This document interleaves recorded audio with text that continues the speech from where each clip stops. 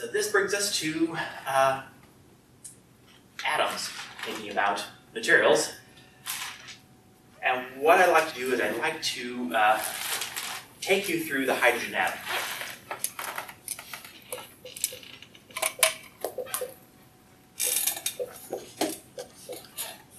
I would take you through more than that, but uh, that's not going to happen.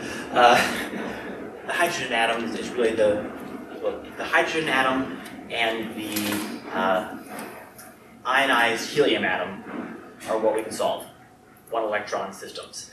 Uh, we then use perturbation methods to look at uh, many body problems. Uh, but I thought I, I would go through this, you get an idea of where uh, the mathematics of, of, atoms come from, and a lot of the times when we're talking about bonding, we talk about bonding in terms of uh, atomic orbitals. And, and this is where, where they originate from. So, the simple hydrogen atom. It's 35 pages of notes, so it's not that simple, but we're not going to go through all the math. Uh, we'll leave that for, for uh, uh, recreation. Uh, so the simple hydrogen atom, you've got uh, a nucleus and you've got a uh, electron. And I drew them bigger because they're not drawn to scale. Maybe the, maybe the nucleus is closer to us, so it, it's out of proportion. the nucleus has some momentum, proton, it has some mass, and pick some origin here. It has some position. The electron also has some position, Re, has some momentum, and has some mass. So if we want to talk about uh, this, we have to write the Hamiltonian. Hamiltonian is the uh, kinetic energy of the proton plus the kinetic energy of the electron plus the potential. And in this case, it will be p p squared over 2mp plus p e squared over 2me minus the charge of an electron squared over rp minus rb, the distance between them. Uh, note that uh, there's no 4 pi's or other uh, pesky parameters. Uh, these are CGS units. Okay, so we got that, but the problem is it becomes complicated, right? We're dealing with Cartesian space, we're dealing with two particles. So what we want to do instead is we want to change, instead of thinking of, of these things moving like this, we want to think of the proton moving and the electron moving around it. Right? Which one? The electron. Oh, E, uh, charge of the electron. Charge. If this is a, a Coulomb attraction between the uh, nucleus and the electron. So we're going to translate our coordinate system from a static coordinate system and two things moving to uh, uh, a center of mass system in which we have the whole system moving and then the electron moving relative to that. So doing that, we have a change of colors here, so I don't have to erase. Paint, I haven't done paint yet. What we can do is we can define a new coordinate system, r, where r is the distance between the uh, nucleus and the uh, proton. We've got some center of mass. We've got a distance from our origin and the center of mass, which I'm calling capital R. This combined system is moving with some P capital R that's the uh, mass of the uh, center, of the uh, momentum of the center of mass. And then the electron has p little r, that's the momentum of the electron zipping around the uh, nucleus. R is the distance from the original unit to the center of mass. R is the distance from the origin to the system center of mass. Uh, that, that's, that's capital R. Uh, P sub capital R is the momentum of the center of mass. Little r is the distance from the nucleus to the electron, and P sub little r is the momentum of the electron.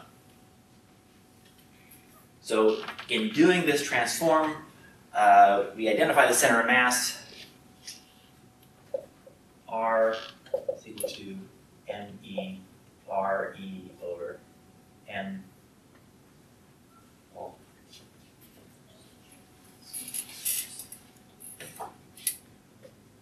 M E plus M P plus M P R P over M E plus M P or R is equal to M E R E plus M P R P over M E plus M P. So we've got an expression for the center of mass. Yeah. So are we moving into a frame centered around uh, R, where R is at? Or We have a yes, it's gonna be centered around this center of mass. Yeah. Alright. So we don't have to keep keep track of uh, both of these anymore. We're now going to talk about uh, the motion of the electron around that. Uh, okay, so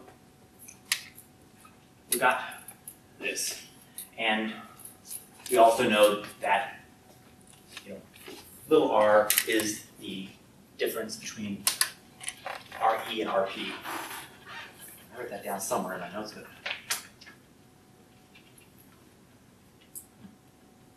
Oh, maybe I just took it as common knowledge. Any, anyway, uh, okay, so doing this quotient transformation, uh, really a couple approaches. One is uh, go over here and do it, why don't I? One approach is to say, I'll keep right here and say, we're transforming from RE, RP to R and R.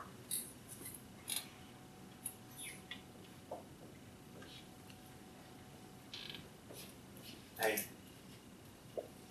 So one approach is to kind of appeal to the physics of the situation, in, in which we say that uh, there's a total momentum.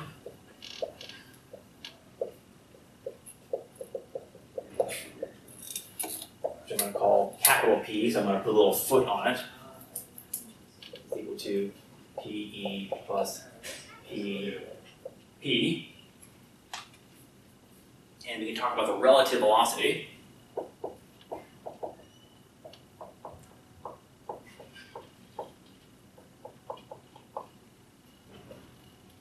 V is equal to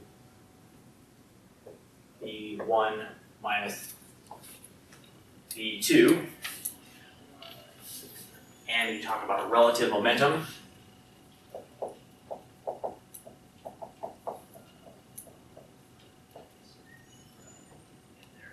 which is P equal to M V. So this M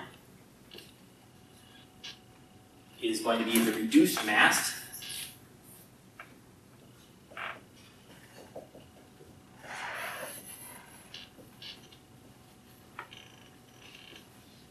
So place that M the mu. Mu is equal to MP ME over MP plus ME. Okay, so you've got a reduced mass,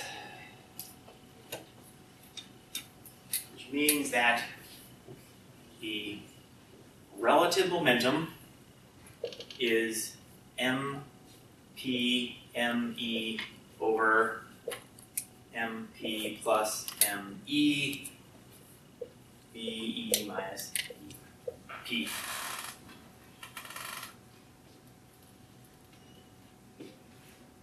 And then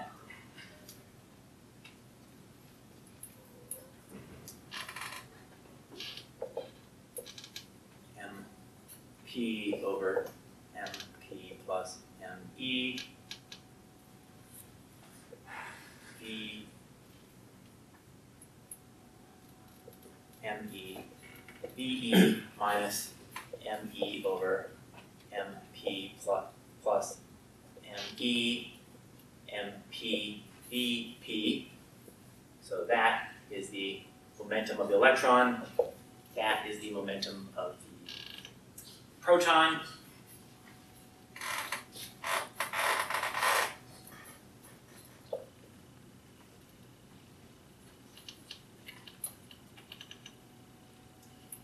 now, using this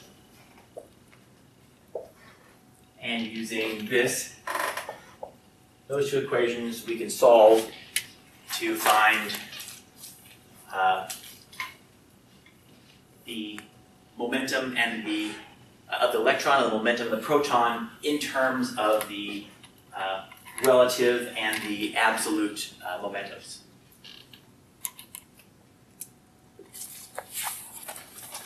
Which so use these find P E P P in of P P and then substitute that into here. And if we do that, we're gonna get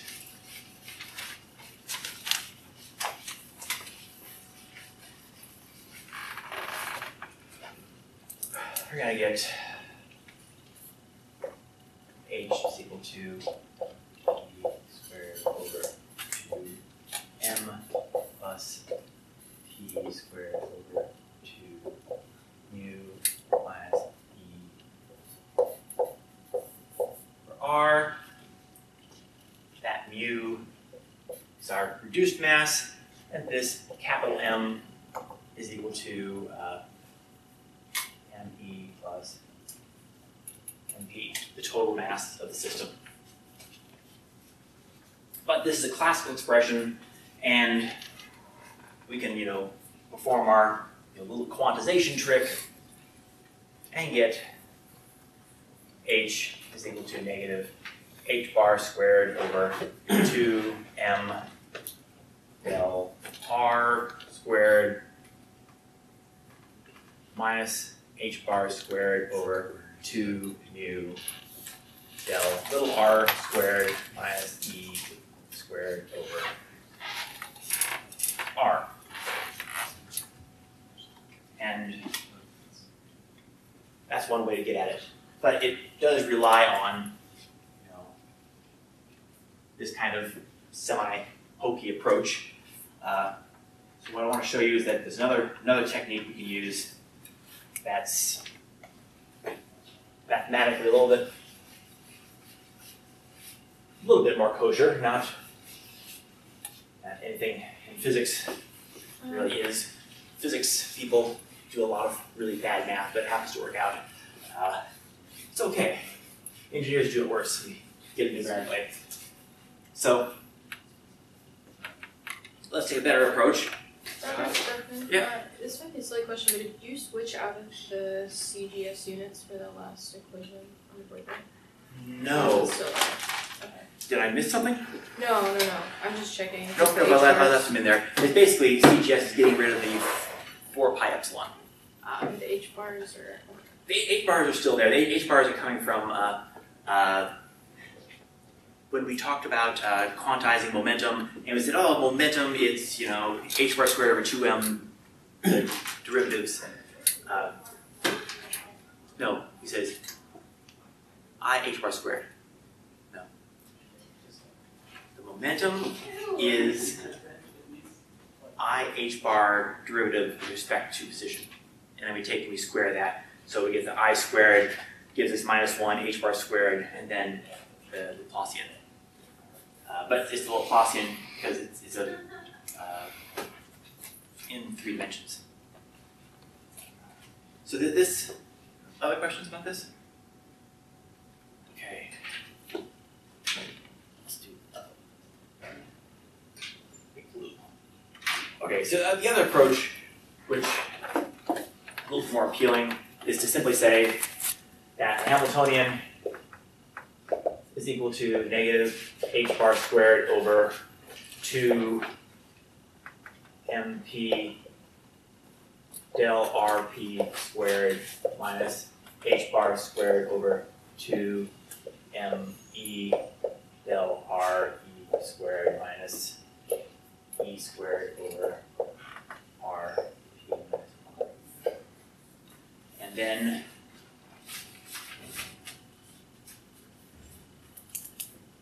Charge not need to be absolute there? Yep, should be.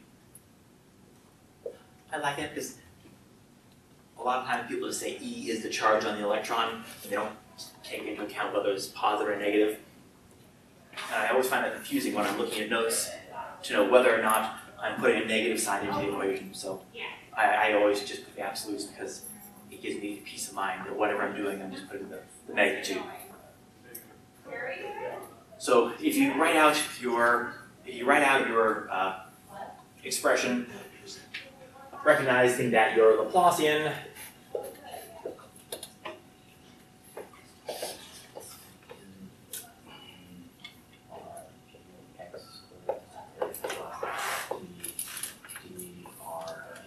y squared squared plus d d r p z squared squared and then using the relations that R is equal to RE minus RP. R, capital R is equal to R P M P plus RE ME over MP plus ME. Uh, We can then uh, form a coordinate transformation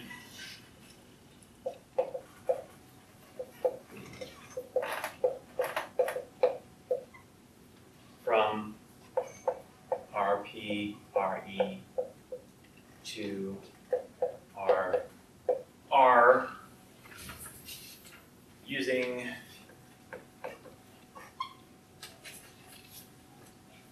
that D D R P well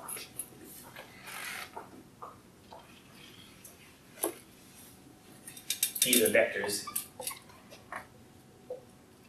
So we're going to use that any coordinate transformation from say x y to p q do a chain rule substitution.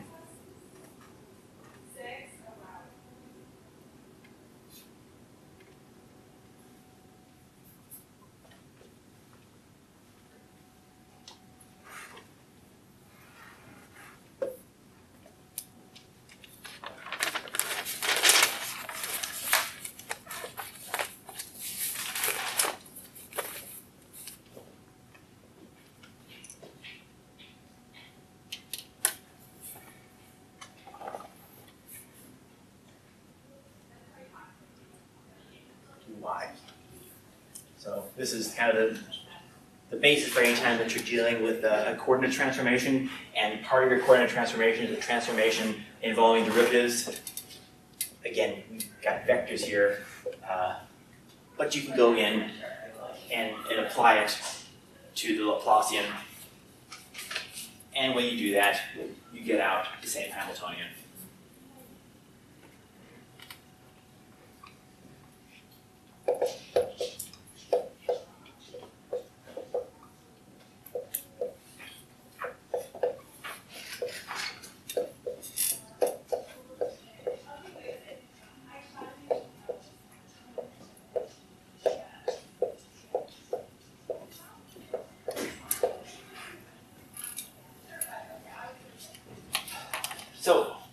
The Hamiltonian? That. Hamiltonian that depends only on the position of the system. And the second two terms depend only on the relative position of the electron from the proton.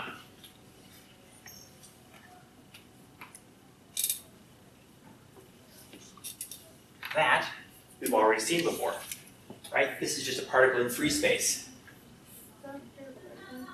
It's the relative position from the center of mass that we've defined for the second two terms, right? It's the relative position from the, uh, this is, Up here. is, draw down here, plus, minus R. This is R. So big R is the position of the system as the system translates. The little r is the distance from the proton to the electron. So what we have here is this big R, it's just a free particle. It's a time wave, yeah. Is it is it lower the distance from the uh, nucleus to the electron or from the center of mass to the electron? I thought we used this to the electron. Okay. Because we, we defined all of our relative coordinates, uh, for example here, as, as the, as the distance between them. Uh,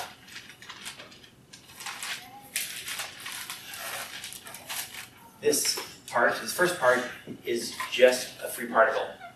So if we're talking about the atom alone, we can write it as a plane wave. This is uh, not. That this is actually the part we're going to have to solve, uh, and that's what's going to take another 30 pages, which we'll, we'll skip over most of the math here. Uh, what's also important is that because these are separable, we know that we can write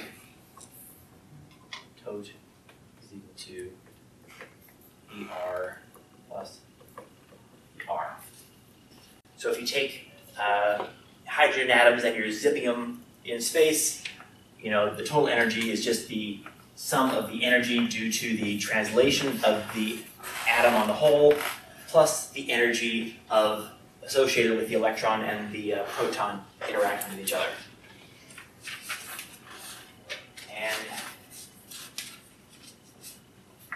as kind of a last statement before calling it quits for the day, I want to point out that uh, the same technique can be used to uh,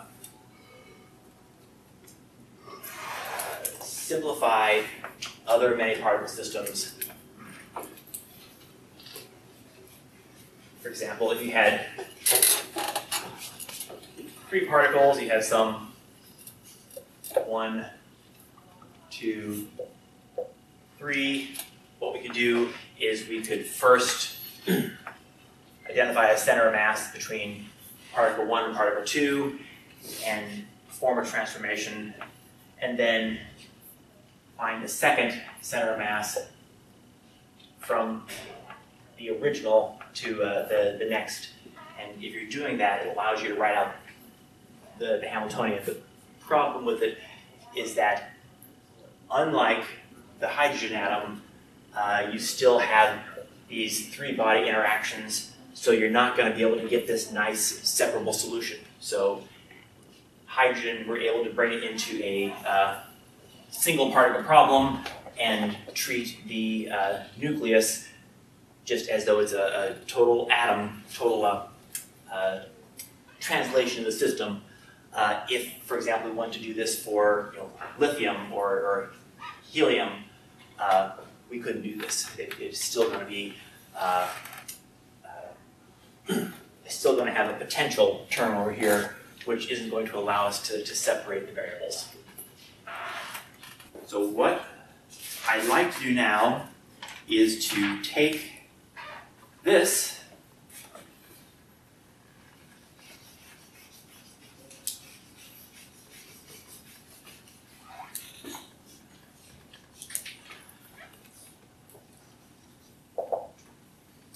and refocus the discussion purely on the motion of the electron around the uh, uh, nucleus.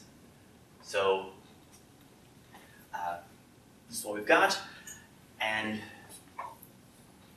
the way that we're talking about it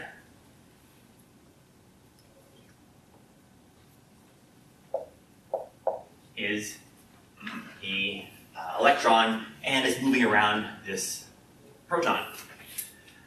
Now, we could write this out and solve it, presumably, uh, but that doesn't make a lot of sense because we're clever enough to realize that we basically have uh, a particle that's trapped in a central potential, right? So what makes the most sense, right, because after all, this R is the distance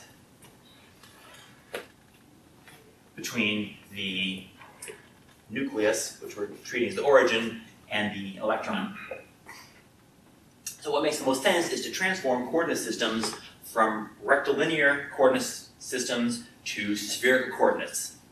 And in doing that, we're going to use r, the distance from the origin to the uh, point of interest, and then theta, the distance from the z-axis to the uh, point of interest, and then phi, which is the angle between the x-axis and the point of interest in the xy plane. And there are different ways to use this notation. So I've seen sometimes that the phi and the theta switched, but uh, for here, this is what we're going to be using. And you know, in case you're not familiar with, with this type of coordinate transformation, we'll have our r, which is a function of x, y, and z, and we need to transform that into r, theta, and phi using that r is equal to the square root of x squared plus y squared plus z squared. Theta is equal to the arc cosine of z over the square root of x squared plus y squared plus z squared.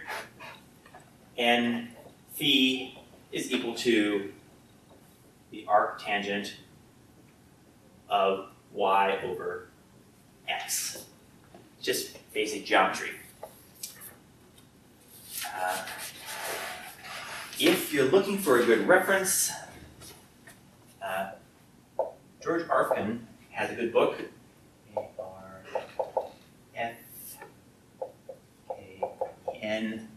I think it was called uh, Mathematical Methods for Physicists or Mathematics of Physics or, or whatever. I can't exactly remember.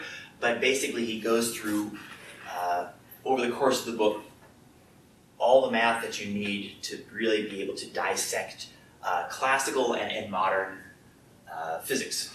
So there's all the coordinate transformations, there's uh, you know, vector fields, uh, a little bit of calculus of variation, uh, but it, it's a very good reference, and you can pick up a used copy pretty cheaply.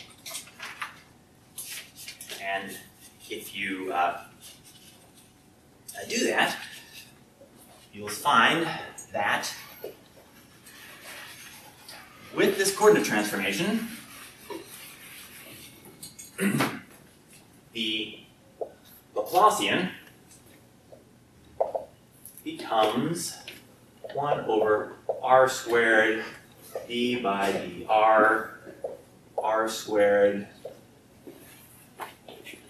d by dr plus 1 over r squared sine theta d by d theta sine theta d by d theta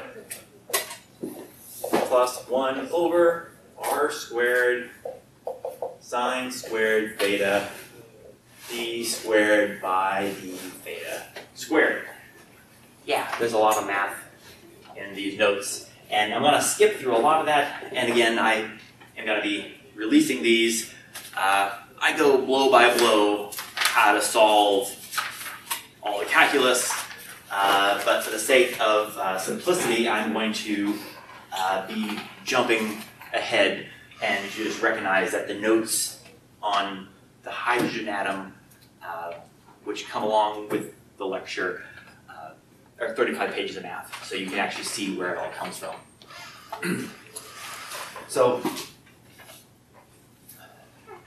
this is going to substitute in for the Laplacian. Um, and then our uh, magnitude of r is the square root of x squared plus y squared plus z squared. uh, so,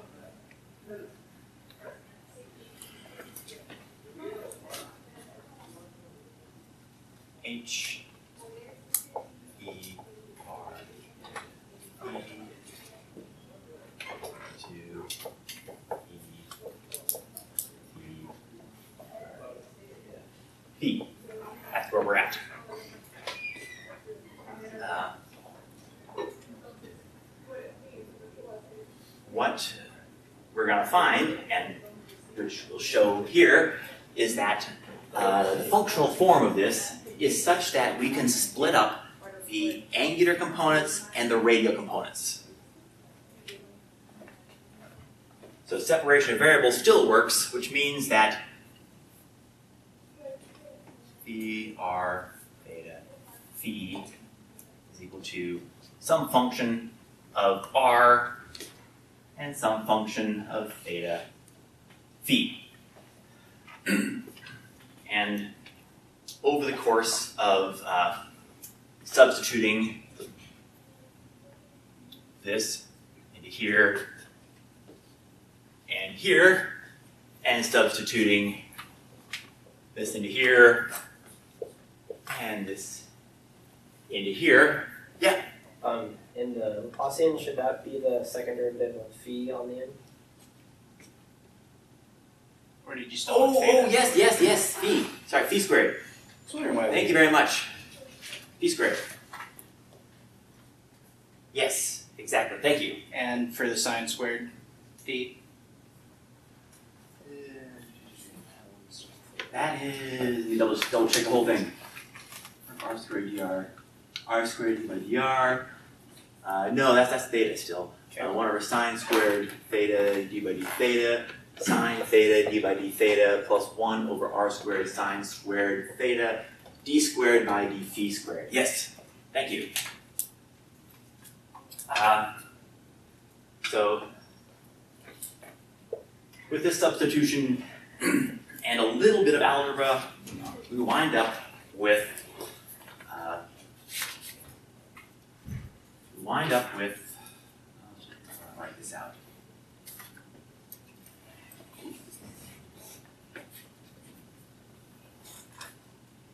We wind up with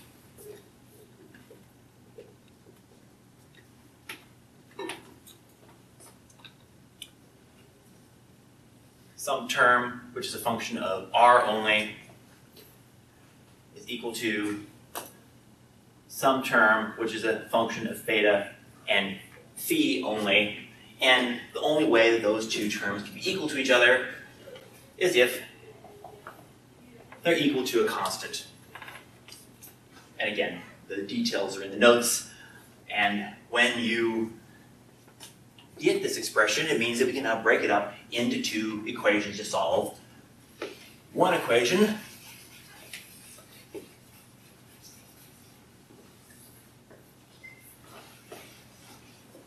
will look like this r squared h bar squared over r, r, 1 over r squared e by r, r squared e by g r. Plus 2 r mu e squared plus r squared 2 u constant. And the other term looks like negative h bar squared over y theta phi 1 over sine theta d by d theta sine theta d by d theta y phi minus h bar squared over y theta phi 1 over sine squared theta d by d phi y theta phi is equal to k.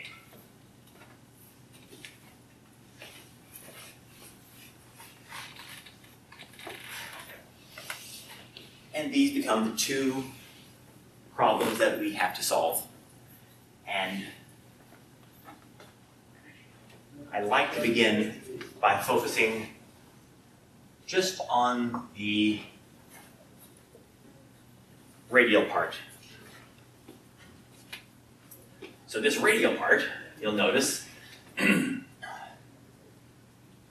we've got a uh, 1 over y, and here we've got a 1 over y, and we've got a y here, and we've got a y here, which means that we can take this y over to this side, collect these two together, and we'll have something that looks like negative h bar squared 1 over sine theta d by d theta sine theta d by d theta plus 1 over sine squared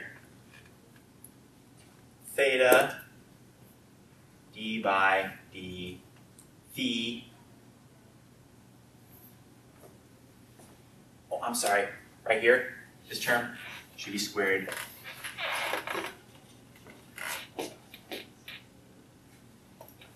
Sine squared d by d phi squared y theta phi is equal to k y theta phi. And this is an operator. And this is a value. So it's an eigenvalue, and that makes this an eigenvalue eigenfunction relation, which means that this is uh, an operator, it gives us a measurable, and you have all those wonderful properties of having uh, eigenfunctions that are orthonormal that we can use for things. So to jump ahead and to spoil the surprise, I'll tell you that this operator goes by the name L capital L squared. So this capital L squared is the uh, square of L, which is the uh, angular momentum.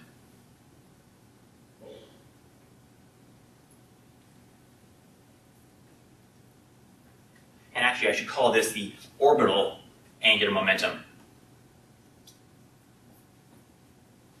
Because we can have uh, orbital angular momentum, which has to do with the electron you know, circling around the proton, or we can have spin angular momentum, and then we'll come to that uh, a little bit later.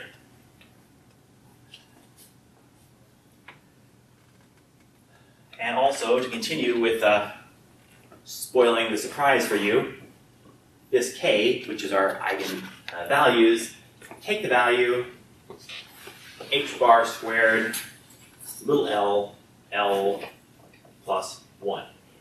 So L is a quantum number, and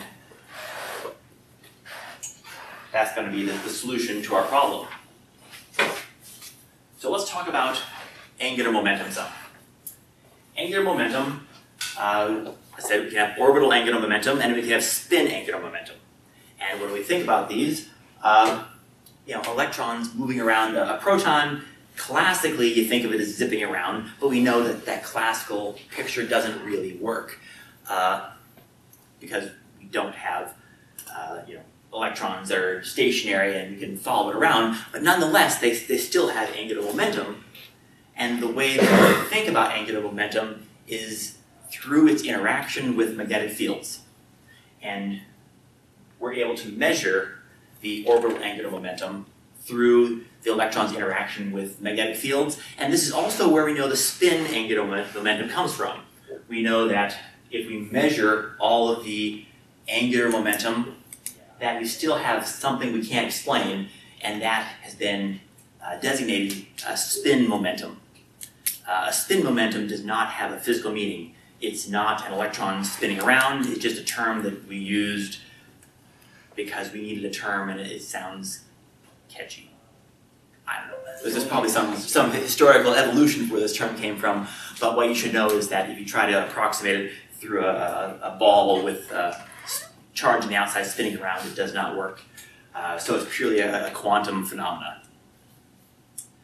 So if we think about angular momentum from a, a classical perspective, L, which is a vector quantity, is the position crossed into the momentum,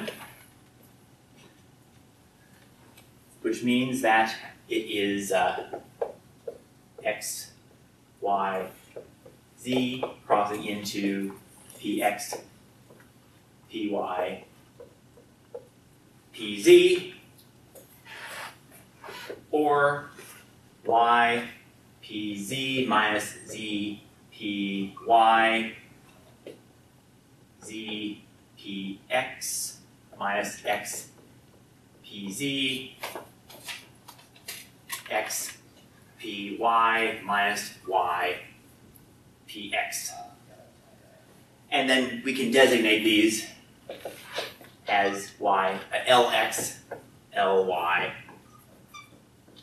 lz. So each one of these components of the angular momentum can be expressed as in terms of position and momentum.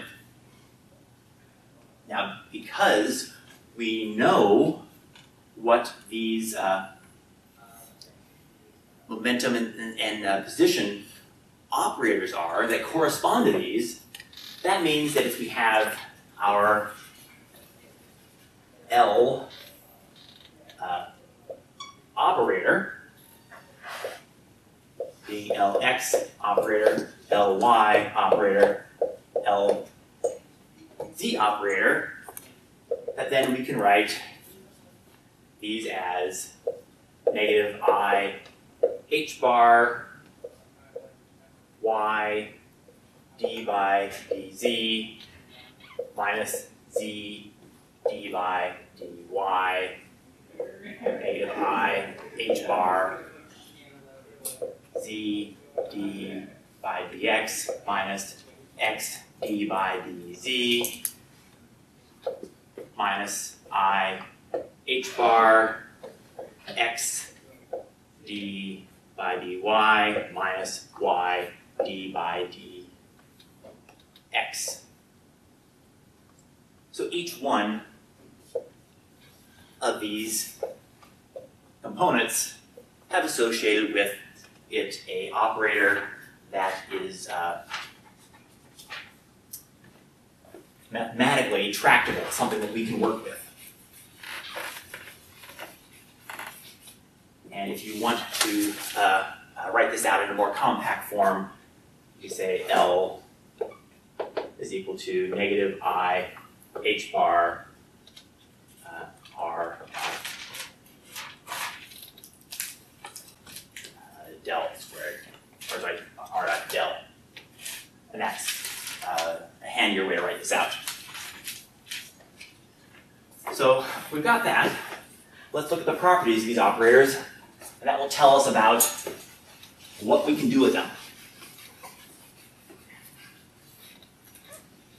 And again, I'm gonna skip some of the, skip some of the, the steps here. Uh,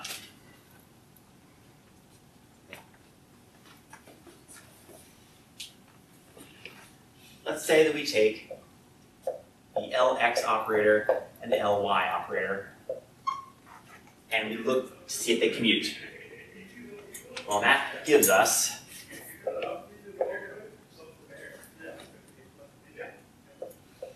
y minus tc minus t ty z px minus x pz and you can multiply those out and with you know a page of algebra uh, what comes out of this is y px pz z minus y px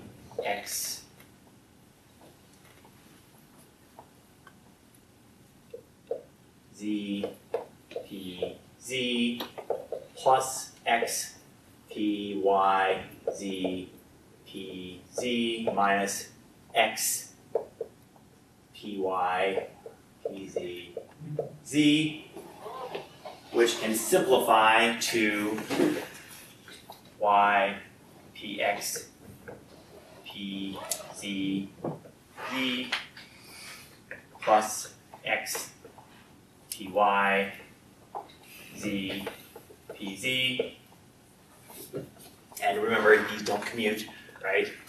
These are i uh, minus i h bar.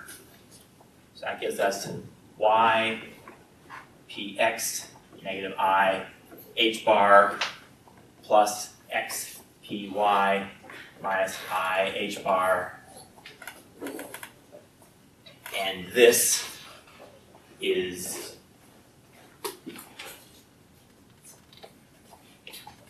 this. So equal to I H bar LZ operator.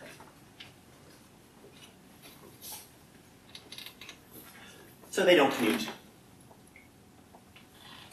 Which is definitely not equal to zero.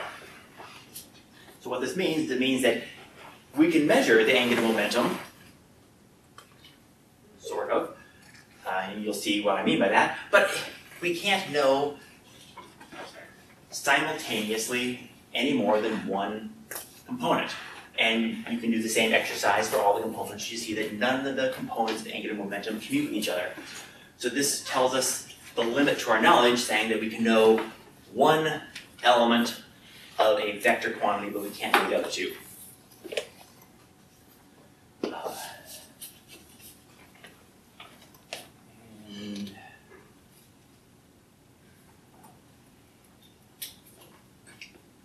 yeah, I'll erase this.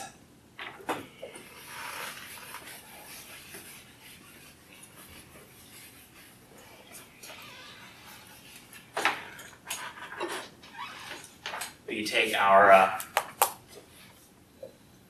L squared, which I told you that was the, op- the name of the operator we were working at before.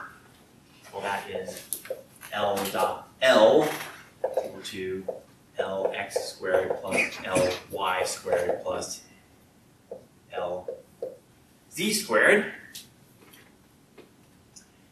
And if you take L squared and say Lx, uh, if you go through half a page of algebra, they commute. So what this tells us is that we can know the magnitude of the orbital angular momentum, and we can know one component, but we can't simultaneously know all three components.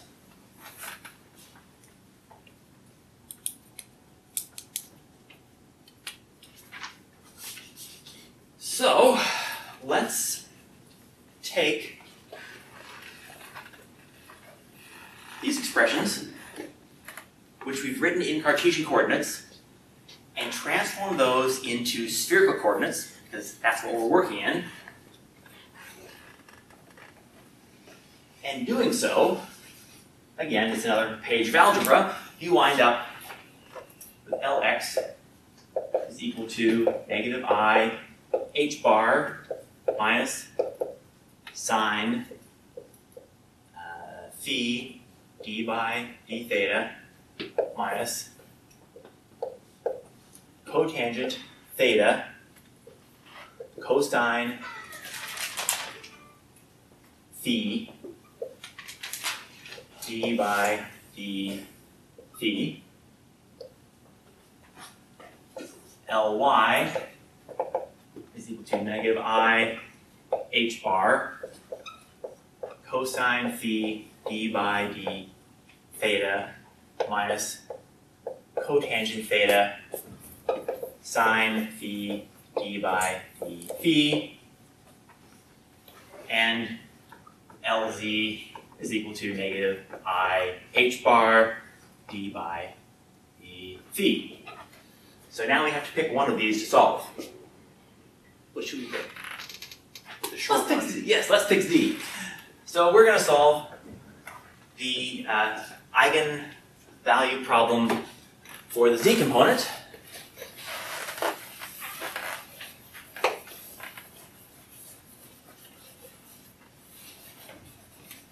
And before I go on, since I want to follow my notes as truly as I can, if L squared is equal to negative h bar squared 1 over sine theta d by d theta sine theta d by d theta plus 1 over sine squared theta d squared by d phi squared. So these are all the operators that we're going to work with in uh, spherical coordinates. Okay, taking the z component, we have Lz phi is equal to beta z phi. And I know that I might think about phi because there's no theta in this operator. Great. Lowercase l. See what? Lowercase l. Uh, lowercase l. That's, that's going to be a, an eigen value. So I, I'm making my operators capitals with hats, and I'm making my values uh, lowercase letters, and then I'm making my functions. Uh, let me write this. Uh, actually, let me write this in a little bit different format to try to stay self-consistent. Uh, B, B, L, Z, V, V. So I know that this operator is only a function of, of uh, phi, which means that when I'm writing out my operator function, I'm operating on a function of phi only. Which, by the way, you'll see that our uh, solution is separable. But nonetheless, this is what we got. We've got a beautiful, well-behaved operator, which tells us then that uh, our solution is a exponential. Negative i h bar d by d uh, phi, our operator, is equal to some alpha e d i m phi to h bar m alpha e d i m phi. So these are our eigenfunctions, and that is our measurable eigenvalue. Um, and we got this alpha. Well, the alpha, we need that to be picked to be normalizable, and we know that uh, that phi value, uh, I take integrate. I there.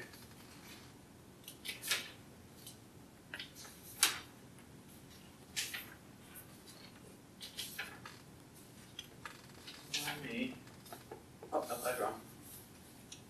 Uh, if I take this and the phi goes 0 to 2 pi, so I integrate from 0 to 2 pi d phi of phi star phi phi phi has to be normalized to 1.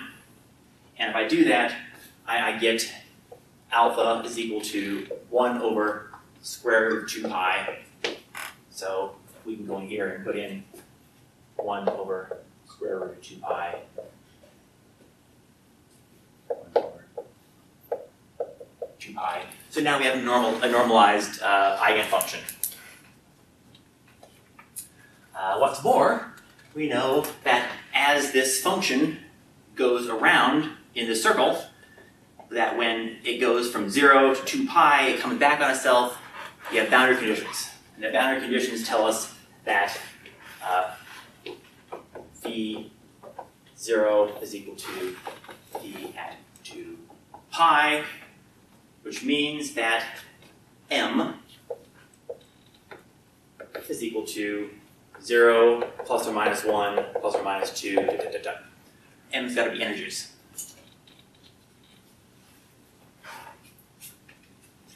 And uh, ta-da! That's the uh, angular orbital momentum in any one direction.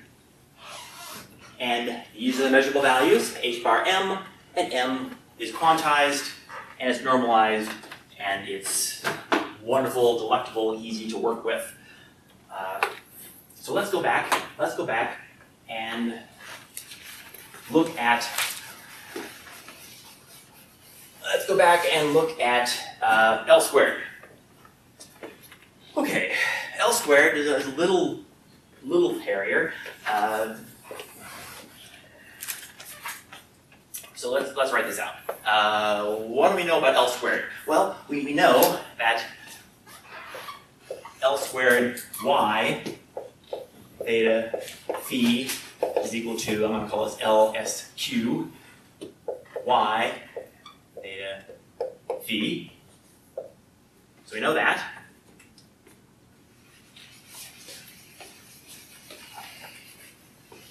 And we also know, we also know that L squared and LZ commute. But the definition of commuting is that they necessarily share eigenfunctions. And if they share eigenfunctions, then that means that I know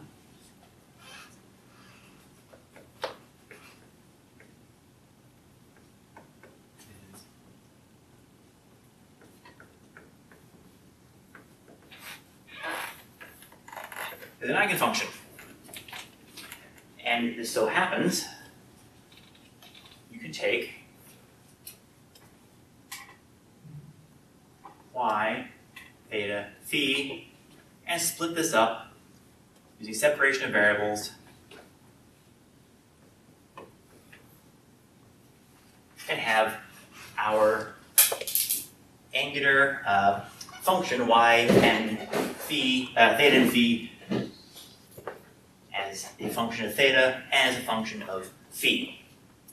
And you know, kind of the hint here is, is that if you see that this is an eigenfunction, that means there has to be some way that this goes away and just leaves you that, that phi value. Sorry, Dr. Beckman. Yeah. Oh, what's the uh, subscript in that top line there? Oh, here, uh, s- s- SQ for square, Okay. because I was calling it L squared.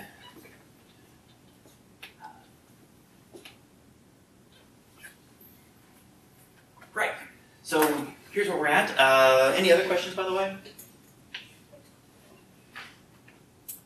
So we've got this guy, and we know it's separable.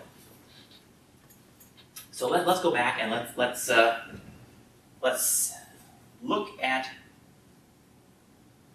let's look at uh, how this separates. And again, this is going to be a page of algebra, so I will set it up and give you the answer. Uh,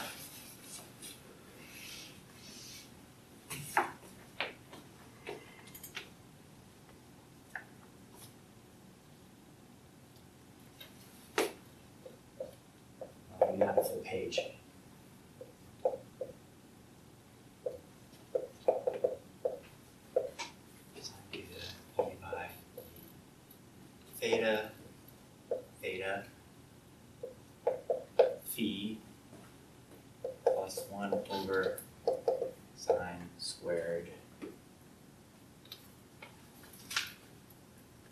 d by d phi squared squared The variable on that sine squared. uh theta. Thank you.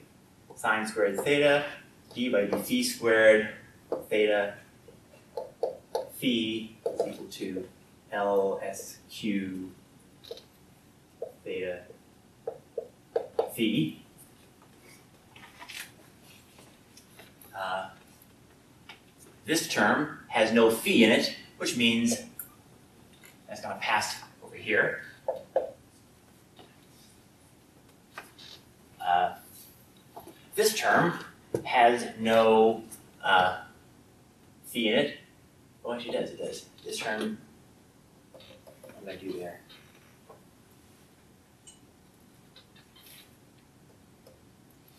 Ah, the theta isn't operated on by the uh, by the phi, which means I can pull it over here, so I can make that theta.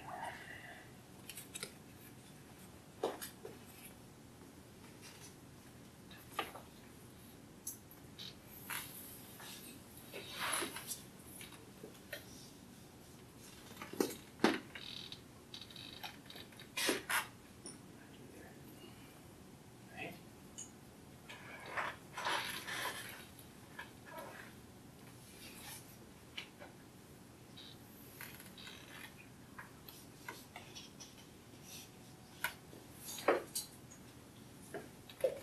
That makes sense. That. That makes sense. Oh. Right. This, we know this because we know, uh, we know, we know what phi is. So we take phi and substitute in there the the same function, right? They have to be the same function because the operators commute. And when you do that, uh, that's going to give us, uh, this is going to give us uh,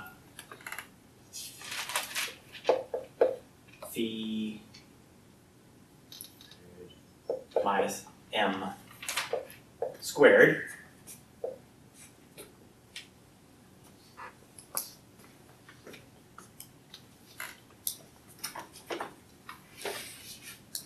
Which then means we have uh, theta sine squared d by d theta sine theta by d theta theta theta sine squared theta phi negative m squared squared theta phi. Got it. And what we'll do now is we'll divide everything through by 1 over phi, which will kill off those, those, and those, and it will leave us with the equation 1 over sine theta d by d theta sine theta d by d theta minus LSQ minus m squared over sine squared theta theta theta equals zero. And this is called Legendre's equation.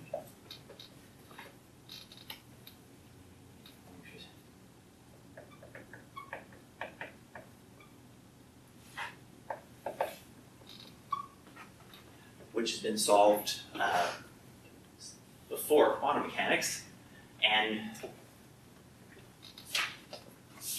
with a little bit of, of algebra with this, we wind up with theta, right? Capital theta.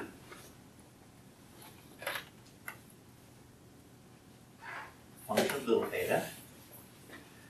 Uh, now has two quantization numbers, an L and an M, which is equal to minus 1 raised to the M 2L plus 1 L minus M factorial over 2L plus M factorial raised to the 1 half P L M cosine theta. If m is greater than equal to 0 or equal to minus 1 raised to the m theta L M L absolute value of m theta if m less than 0. This is the known solution to Legendre equation. This p term, that is called the associated Legendre functions.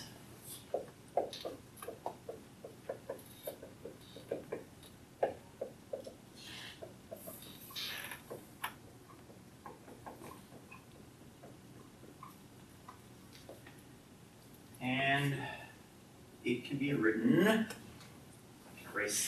upper part. Yeah, get rid of that.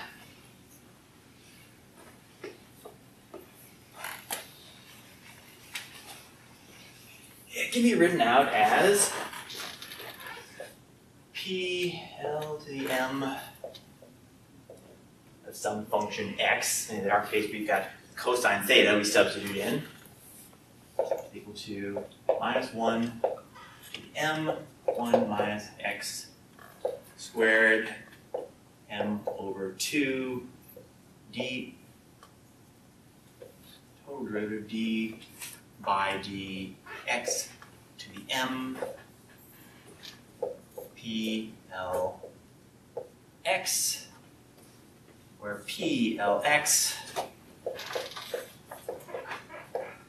is equal to 1 over 2 to the L, L factorial, d, d, L by d x to the L, x squared minus 1 to the L. Boom. Okay, it's a bunch of math. It's a bunch of math. But at the end of the day, what you see is that because we have this known solution, we have our known equation, we have a known solution, which we can substitute in for, and at the end of the day, at the end of the day, when we substitute this in for our y theta phi is equal to uh, theta phi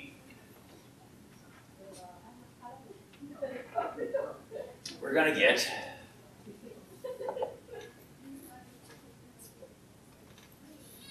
Negative one to the m. Two L plus one. L minus m. Factorial over four pi L plus m factorial.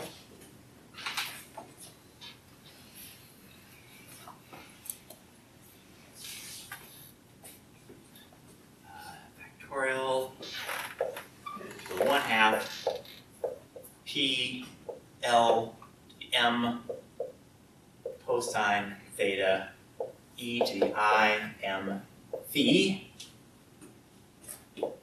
if m is greater than equal to 0, or minus 1 to the m y complex conjugate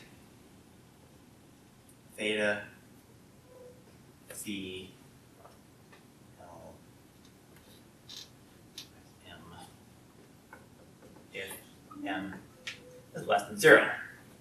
So this L, this Y, notice now it has two uh, characteristic numbers, an L and an M. In this case, we have L and then a minus M. And these L and M's, L equals 0, 1, 2, dot, dot, dot. M is equal to minus L, minus L, plus 1, dot, dot, dot, 0, dot, dot, dot, L. So our L and M are appropriately bracketed. This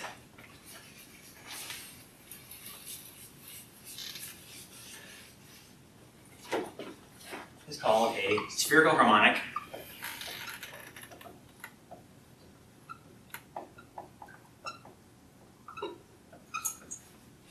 It's written out in terms of the associated Legendre functions, crazy useful. This is the spherical equivalent of a plane wave. So, you know, those of you familiar with, with uh, uh, Fourier, uh, Fourier expansions and plane waves, you know that any function you can write out as a sum of plane waves. Right? So you can basically take a Fourier expansion of anything that's piecewise continuous. And even, even if it's not piecewise continuous, you can uh, uh, you'll get you know Gibbs overshoots there, but you can still approximate it. Uh, this is the same thing, but for spherical functions. You can fit any spherical function to spherical harmonics, and it's incredibly useful. Uh, it's also useful because uh, it's normalized. It's normalized uh, on a sphere. So if you take y l m star y l m d omega. This d omega means you're integrating over a sphere, so you have uh, things that look like this 0 to pi d phi integral 0 pi d theta sine theta y l m star y l m. Uh, if you that, is equal to del L L prime. Let me, uh, sorry, I want to put a prime here in front of these. So that's y star L prime M prime and del M M prime. So we get Kronecker deltas. So it behaves the same as a Fourier expansion as well because it's uh, orthonormal. So if L and M are equal to L prime L M prime, then integrating this will give you a value of 1. Uh, this is all around a, useful function. And uh, as most of you probably guessed, this is where we get our uh, our uh, SPDF orbitals from. We refer to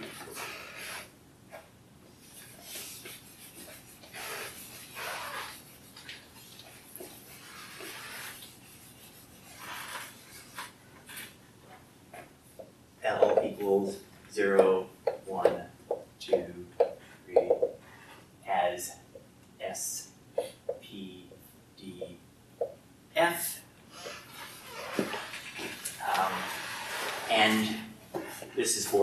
hydrogen. When we get to many body systems,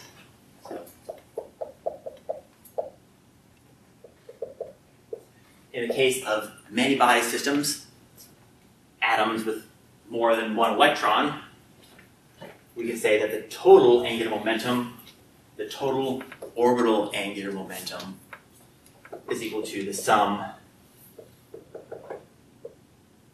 of Li and then L zero one two, and we call this capital S, capital P, capital D, capital F. L is our uh, orbital angular momentum quantum number.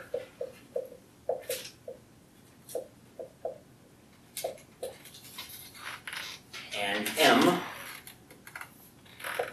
we're calling the magnetic quantum number.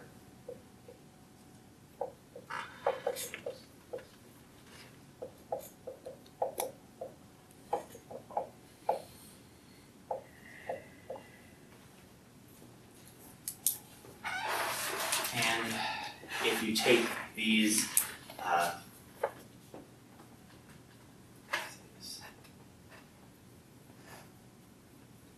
well, I'm not gonna talk about that too much, but if you plot, uh,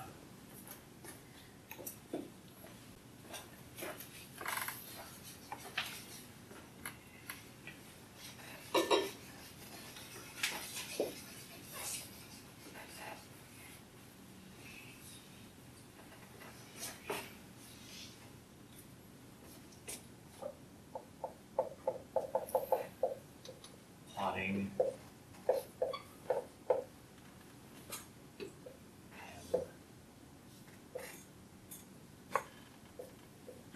function of theta, you wind up with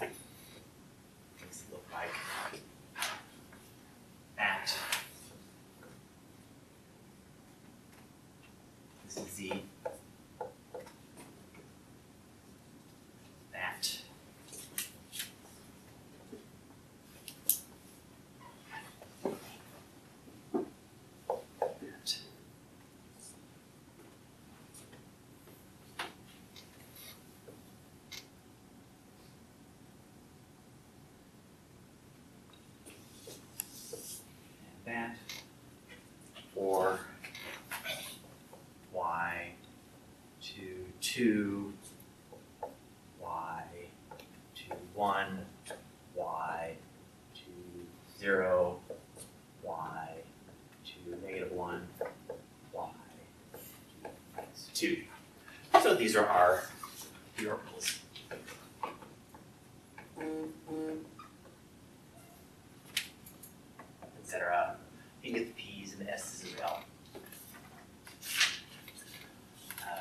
so this gives us the y component.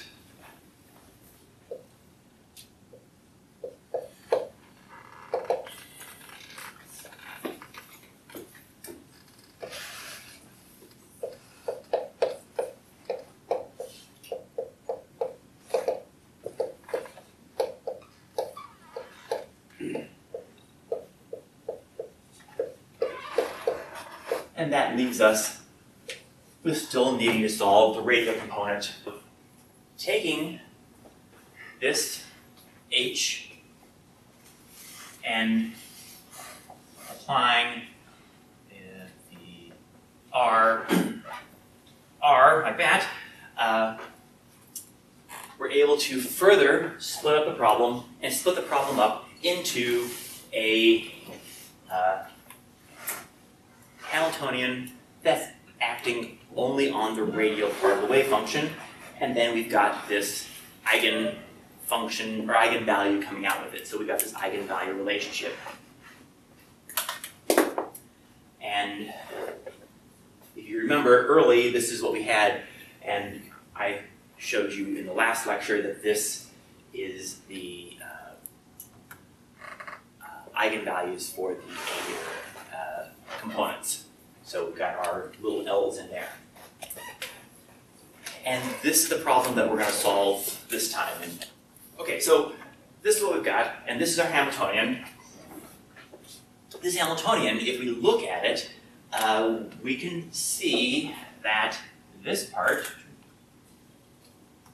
is essentially coming from here. So this part is the radial part of the Laplacian. It's the radial part of the kinetic energy.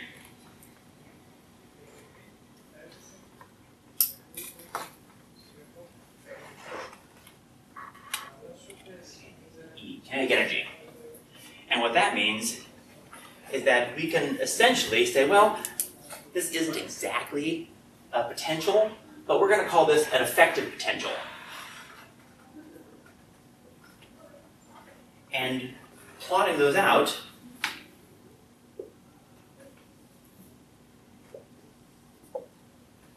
uh, you have like that. That's Coulomb.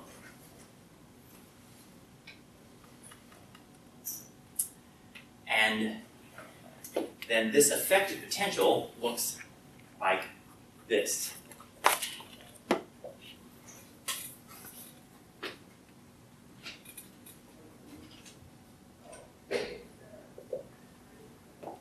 And the reason it looks like that is because we have this term, which we're going to call our uh, angular momentum barrier.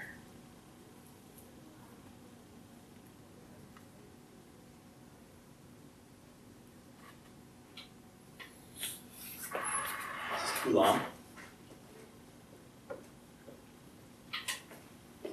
It's going to do something like this.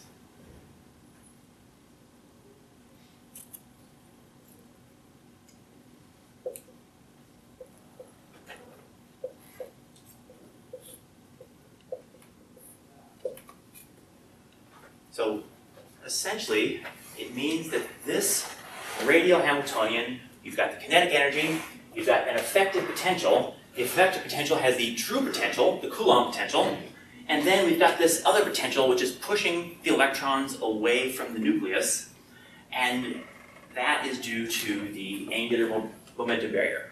So we find that you know Bohr gets the right answer. He got the right answer for the wrong reasons, but he was right in as much as it is the angular momentum which is keeping the electron from spiraling into the nucleus and is providing a effective potential which is uh, giving us this shape of well that we're working with. now, talking about a well, we're, basically solving uh, uh, a particle in a well, or this is what first year uh, or first semester quantum students solve all the time. You have a, a particle and it bangs against a box or bangs against a well, and we, they solve for it. Or you solve for a simple harmonic oscillator. This is essentially that same problem. And what we should notice is that here, below zero, the electron is bound. And it's going to have these discretized energy levels.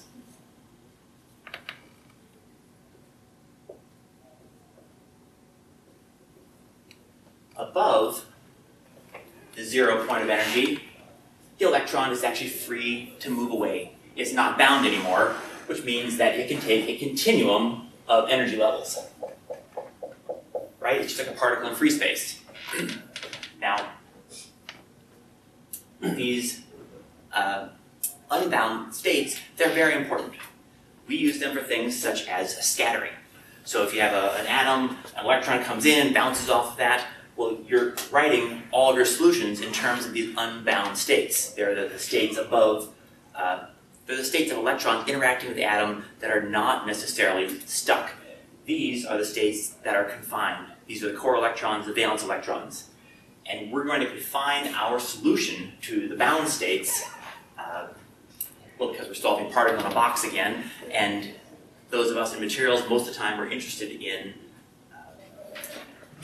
bonding and the, the localized states, but, but recognize that these unbound states are, are also important.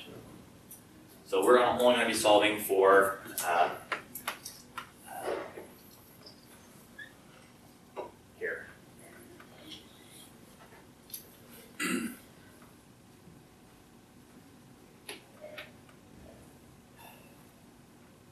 so, a lot of what we're going to be doing here is, is going through a series of substitutions, which mathematically is a little bit tedious, so I'm going to be skipping a lot of the math because you have the notes. But I'll, I'll step through the explanation for why we're doing it as best I can.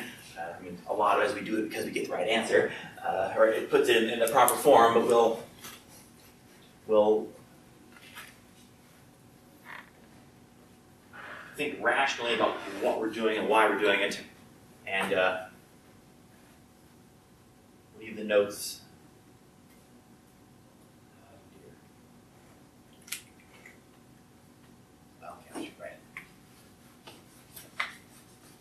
For the uh, play-by-play substitution and uh, simplification.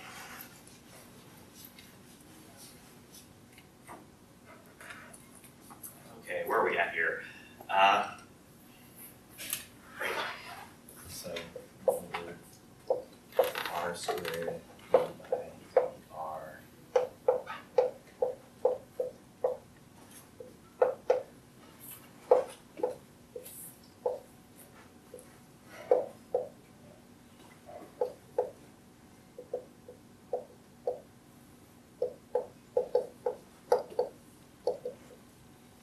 So this is the differential equation we're solving. R is a function of little r. I've moved all of these over to get uh, to get rid of the coefficients in front of that, that first term. And we're going to substitute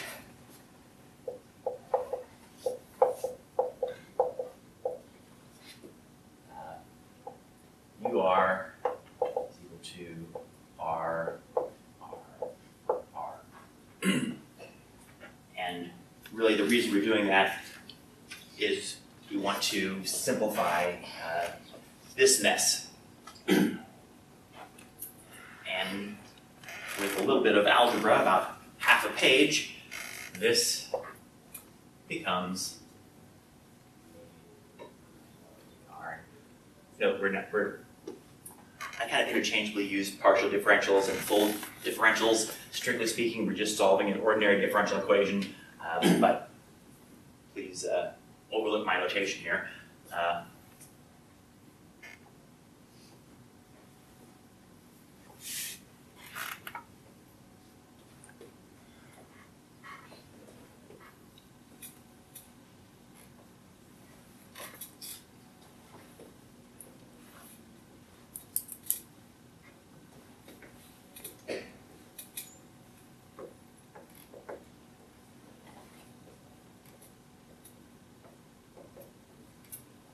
So I made this substitution and then I put V effective back in, which V effective was uh,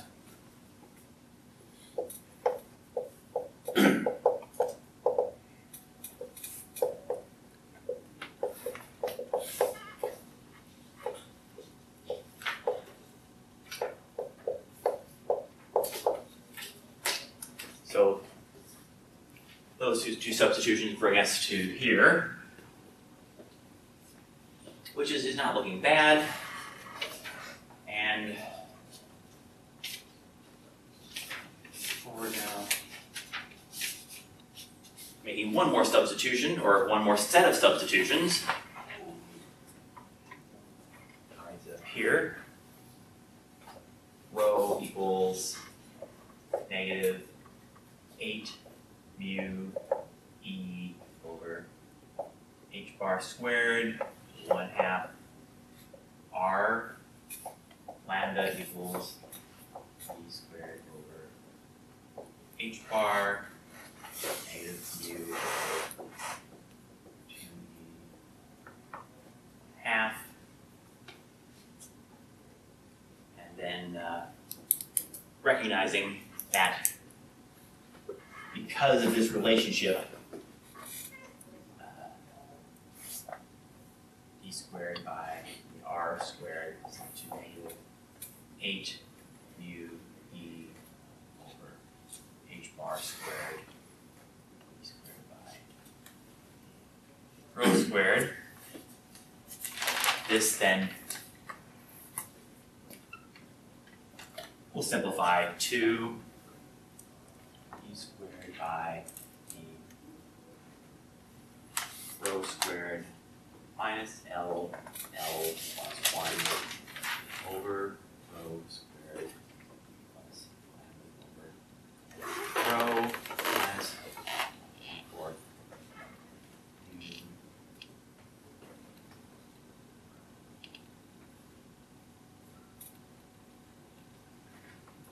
zero.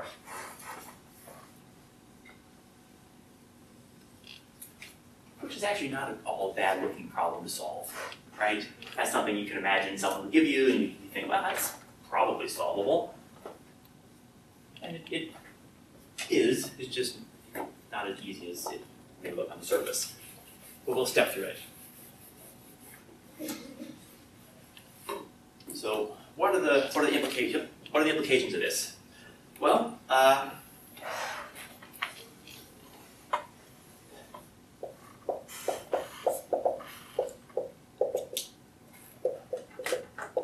consider the case of a large rho, which is large R, far away from the nucleus. In a case that you're far away from the nucleus, this problem simplifies to d squared d rho squared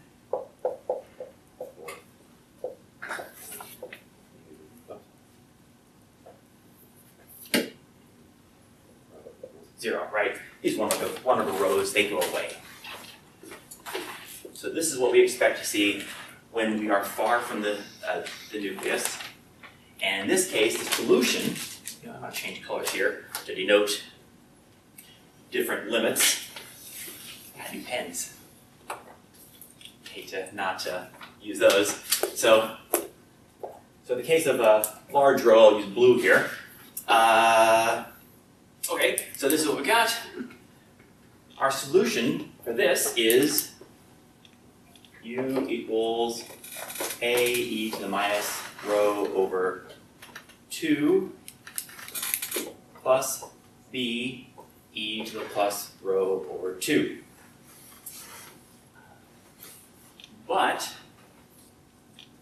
as rho goes to infinity, u has to go to 0, right? Because we know that we're bound, so the electron is not going to uh, you know, blow up as we uh, go out to infinity. And, and that means that b has to be 0. So this tells us that the limit of large rho, our solution will look like u goes as e to the minus rho over 2. Okay, now we'll switch to Sister Red.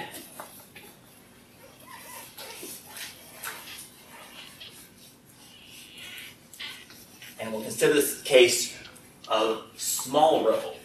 What do we get as we approach the nucleus? So,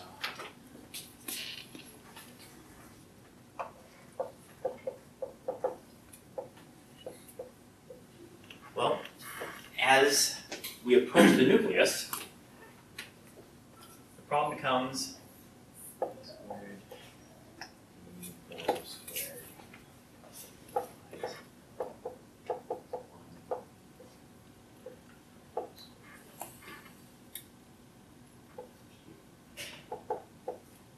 equals zero. And this is this is the limit of rho going to zero. Or sorry, rho rho approaching zero. And we guess a solution that looks like, and we're guessing because you know it's the right answer, but it's a terrible way of doing it, but uh, in the time we have here, we're going to guess the right answer first instead of guessing the wrong answer a bunch of times. Uh, so if you guess something that looks like the right answer, uh, we get that, which gives us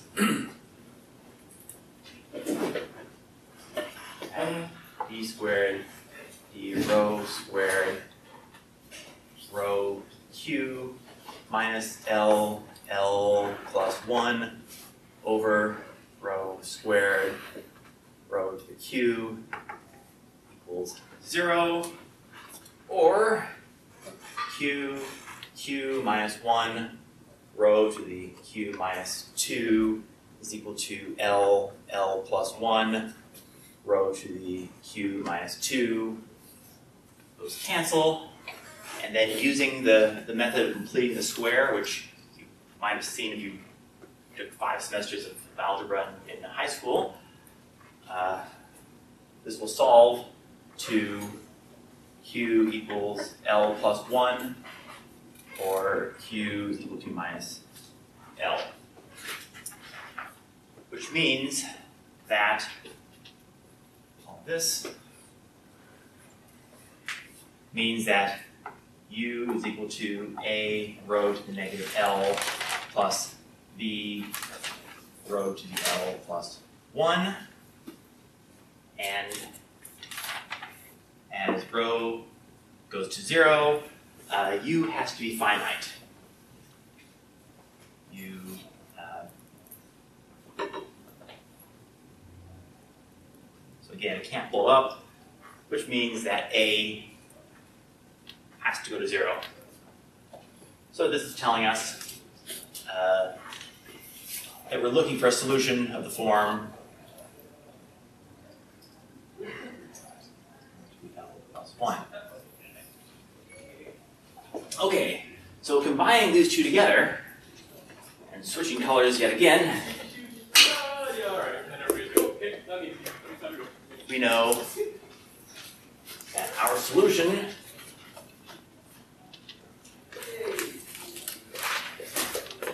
So L U T I O N must act like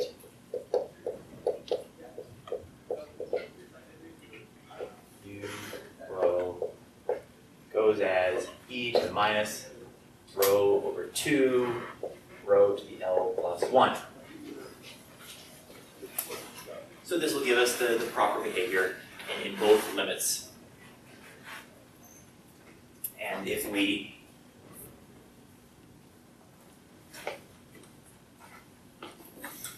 take this and, and look at what the shape of such a function is,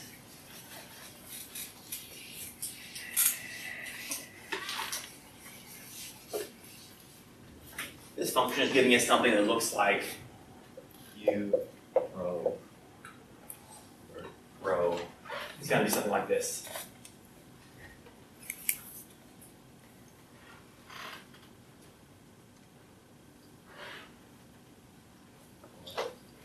Zero, zero, one, two. So basically, we're creating a radial function, and as we increase L, the uh, solution gets clumped together in, uh, and this is going to be spherically symmetric, of course, because this is a, a radial function, uh, further and further away.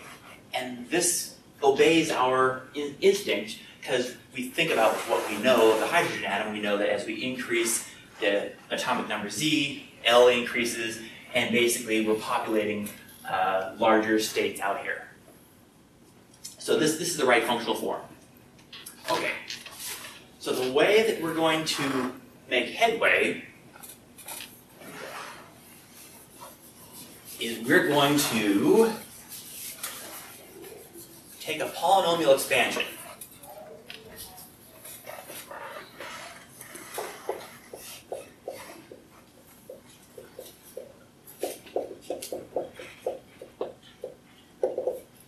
And we'll take u rho is equal to e to the minus rho over 2 rho to the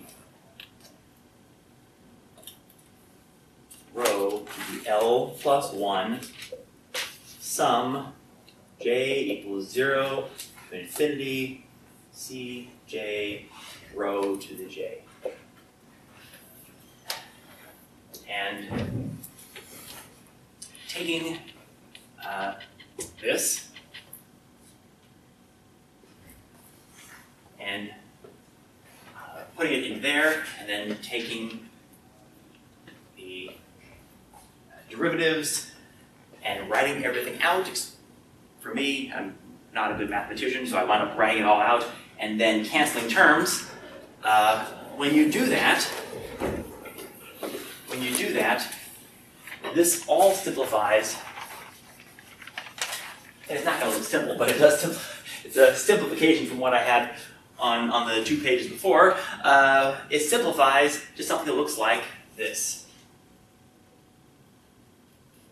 Row E rho squared plus 2L plus 2 minus rho d by total derivative d by d rho plus lambda minus L minus one. All this quantity multiplied by G rho where oh, equal to zero, where G of rho is equal to sum J equals one, infinity, C J the J. And this this is called the uh, Laguerre differential equation.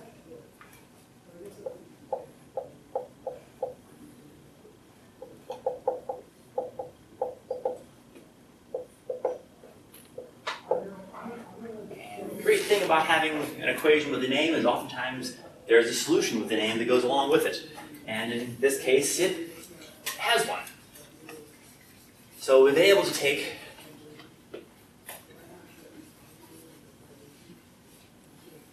and express that big mess in, in terms of something that, that has a solution. So let's, let's write the solution down. Solution is, and I'm going to write the eigenvalues first. I started it, but like, I don't know what, everything we're gonna wanna do.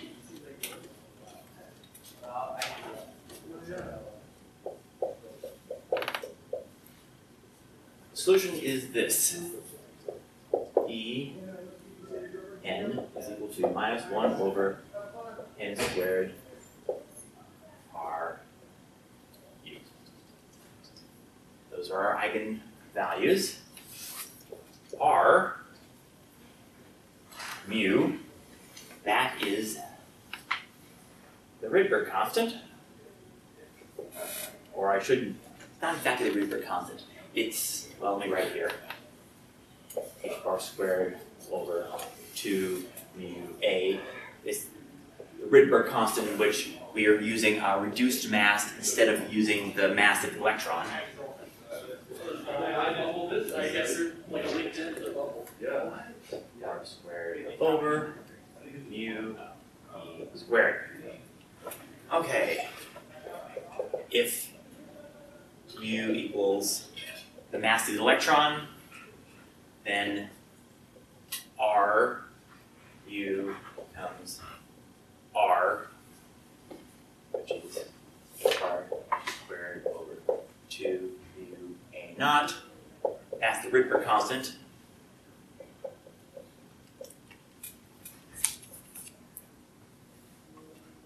And that's, you know, remember the freshman chemistry where you're looking through the through the diffraction grating and you're getting all of the, the diffraction, the uh, spectral lines, that's that Rydberg constant. And that's approximately 13.6 electron volt. That A naught equal to h bar squared over m e squared, approximately 0.529 angstrom, is the Bohr radii, or radius. All good things. Uh, and uh, if we take and we uh, make the substitution, we get, uh, I should say, let's substitute in R0 and R mu and A mu into this equation, and we get negative 1 over n squared mu e to the fourth over 2 h bar squared.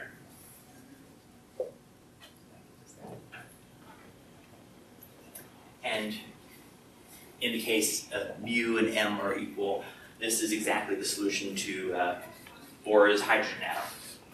So Bohr got the right answer for the wrong reasons, although his intuition was right that it's the angular momentum that is quantizing the, uh, the problem. Okay, so now let, us let's write the, uh, the radial wave function, which is a page full, but we'll write it feel happy to ourselves for, for doing so. Just that sense of completeness when you actually write everything out.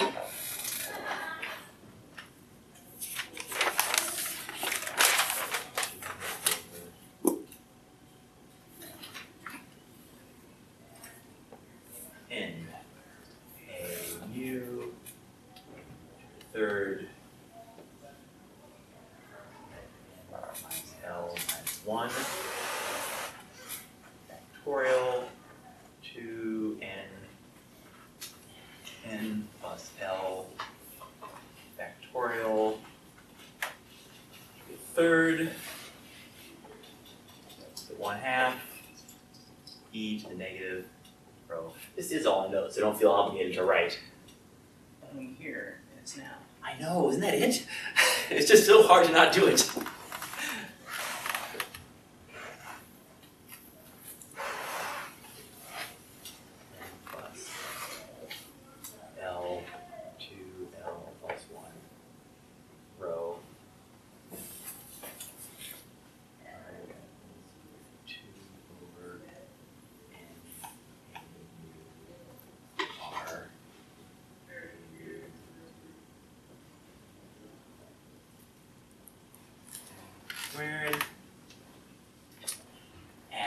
this term is called the associated Laguerre polynomials.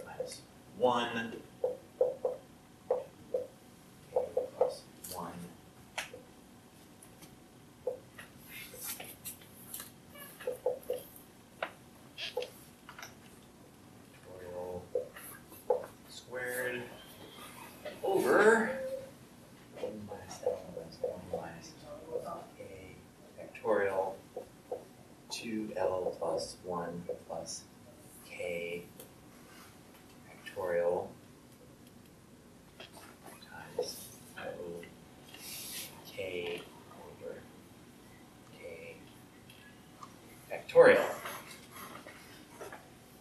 And it's bracketed by L must be less than or equal to n minus 1. Isn't that convenient? Uh, oh. So, real quick, did you need to have two ones right after each other there? Oh, no, I didn't. Sorry, that's an L.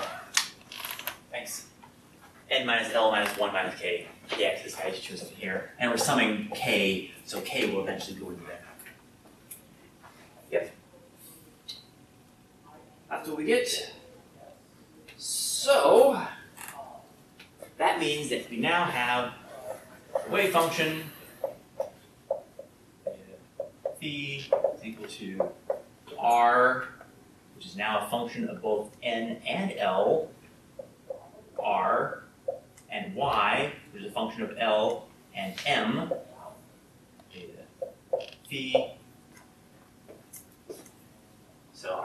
function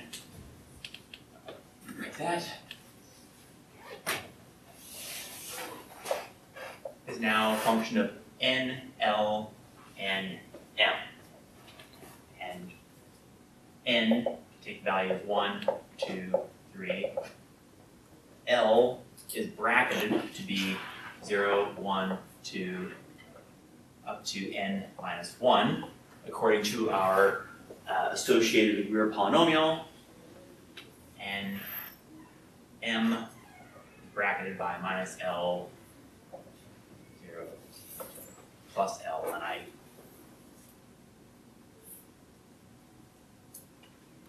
I can't remember. Uh, I've, I've seen the, the proof of that. I can't remember if I showed that in the last lecture or not, uh, but it, it is bracketed by that. So there we are. And uh, these look like, what the radial components look like. I don't need this anymore.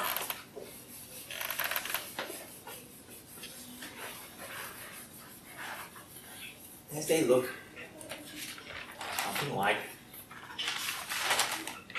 and again, I've got all these plotted out. Uh, what I want to show you about them, though, is, is they look like this.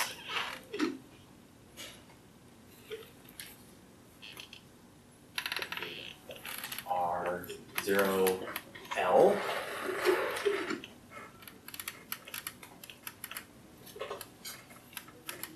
This is R one L.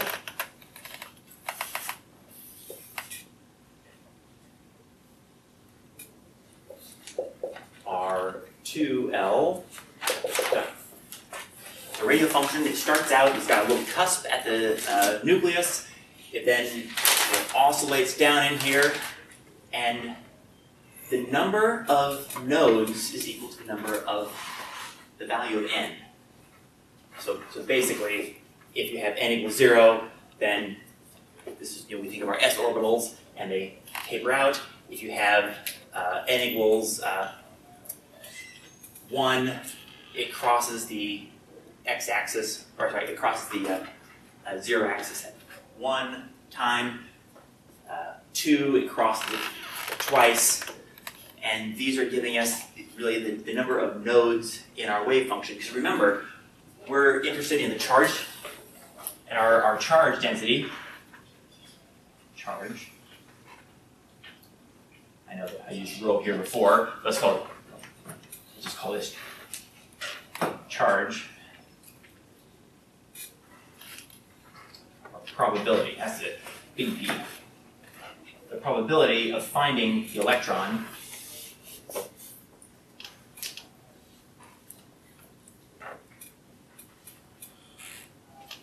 psi star psi, psi, which means that if we're looking at the probability as a function of r, it's going to do something like this, or for n equals 1.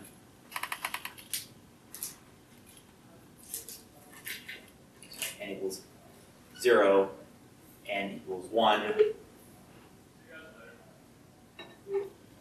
n equals 2, and at these points, we get nodes.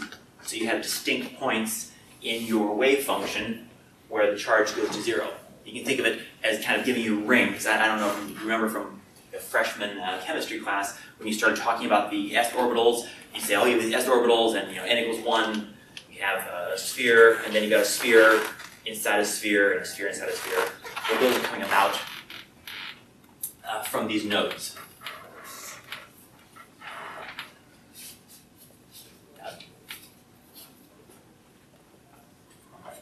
erase these.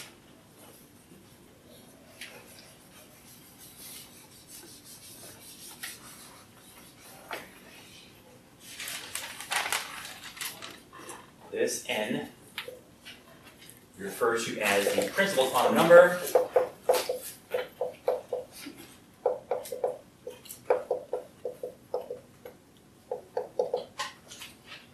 And it's really important because the energy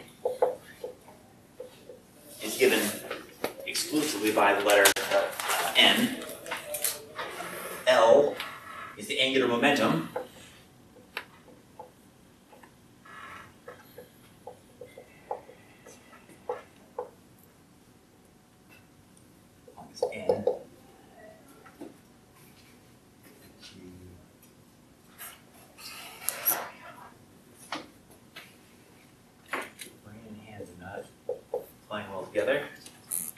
And M the opponent of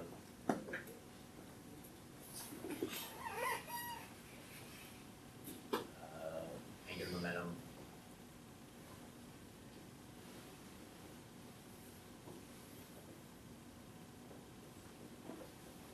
So m is getting the, the z component of the angular momentum. And we write everything out in a, in a summarized fashion.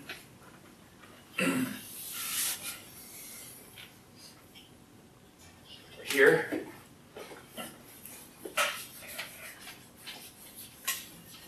I'll summarize where we are, I should say. We've got h acts on a wave function, NLM returns negative Rydberg constant over n squared psi NLM. If we look at the angular momentum squared,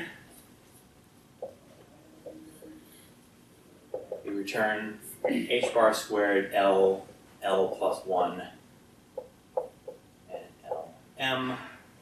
If we look at the z component of the angular momentum,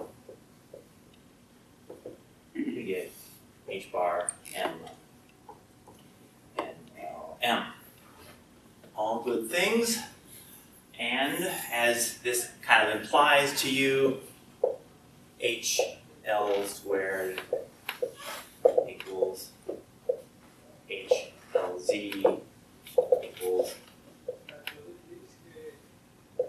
L squared L z equals zero. They all commute, so we can simultaneously know the energy, the magnitude of the angular momentum, and the z component. Now,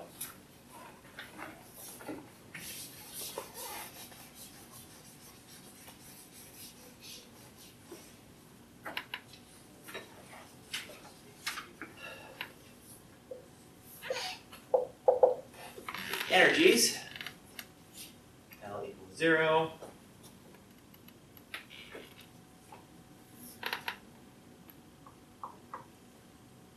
Angle R. L equals one.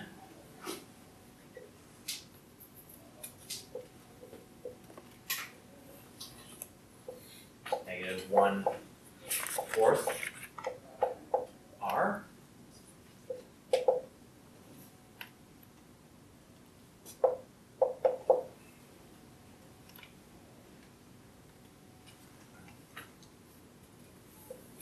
here, one ninth R.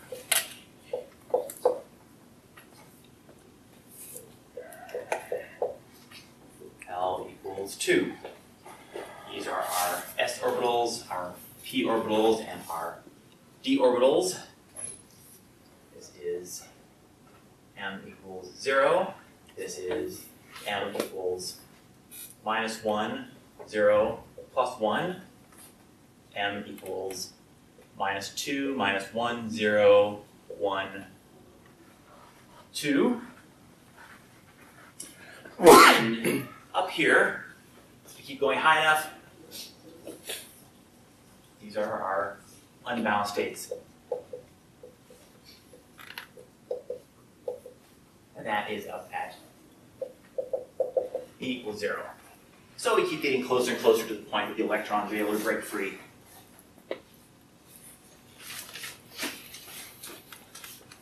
So the, the question that I think you know, makes sense is like, well, what do you mean the, the p orbital of a hydrogen atom, or the d orbital of a hydrogen atom? And this is the point where we start thinking a little more practically about what we're doing. What we're doing is we're calculating the allowed states, but we aren't necessarily calculating uh, what exists. Because what exists is an electron occupying a state. So an electron can occupy any of these states. We can have a hydrogen atom in which an electron is occupying the, you know, 3D states. It's not energetically preferred because it has to be, uh, uh, you know, above ground state, but it is certainly possible. So this whole game of quantum mechanics is to get an expression for the potential, and sometimes, well, most of the t- all the time, it's very difficult to do because the potential actually depends on the electrons, but if you can write it out without the electrons, say, okay, what does the potential look like? And then you occupy with electrons, and they occupy these states according to uh, according to Fermi-Dirac statistics. Uh, but let's think about uh, what else we know. What else we know is we know that electrons are fermions, and uh, that means that they have this Pauli exclusion principle that they have to obey. And if we start occupying these, the first electron goes into here. And then the second electron, it goes into here. And that violates what we understand. So right away, even though we solved this, we know that it can't be right. We're missing something. And it so happens, if you take this 1s state and we apply an electric, a magnetic field, what's going to happen is this state is going to split into two states. It's degenerate. And there's a little delta here. And that delta uh, is proportional to the magnetic field. Uh, this is called the Zeeman effect.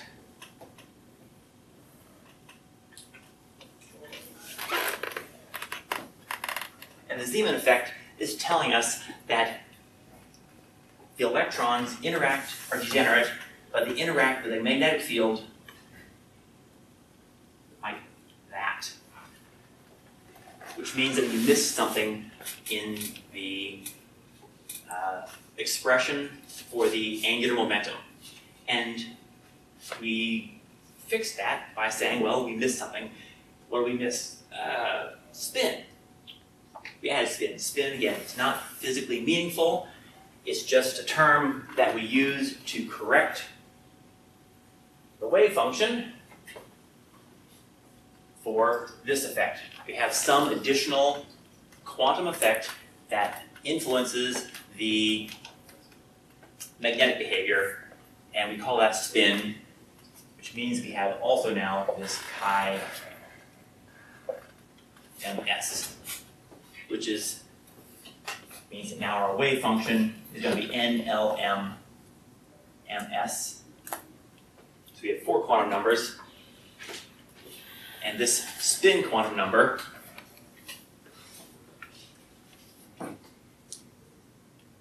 take two values, plus one half or minus one half, for spin up or spin down.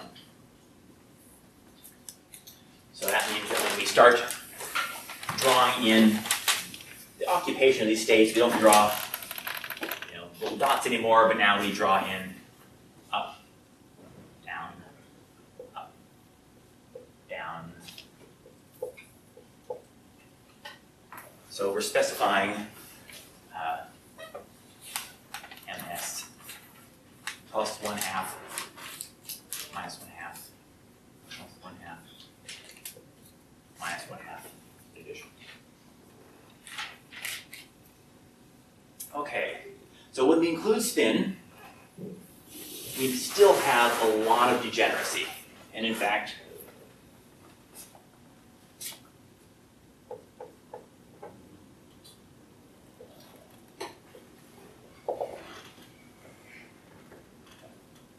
for given n quantum number, there are two n squared degenerate states.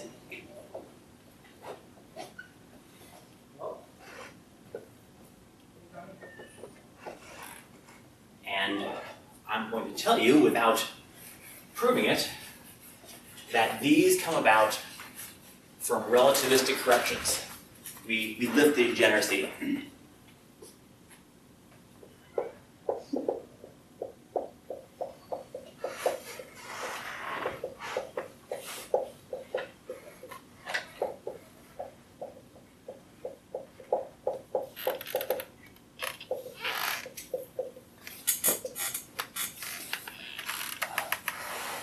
One, we have a relativistic correction to the kinetic energy.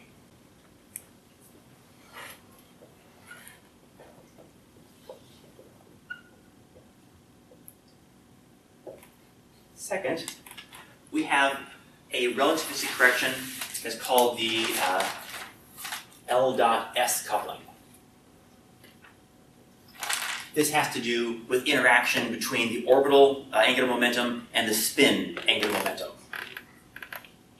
And third, we have the Darwin term.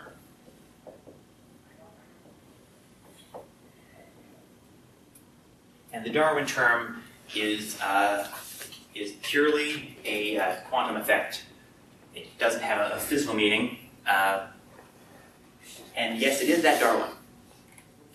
But actually not him, it's his, I think it's his nephew. Uh, so it's, it's in the same family as the Darwin Darwin.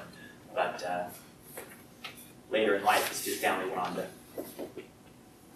higher things. Uh, no picking on biologists, okay. So let's see.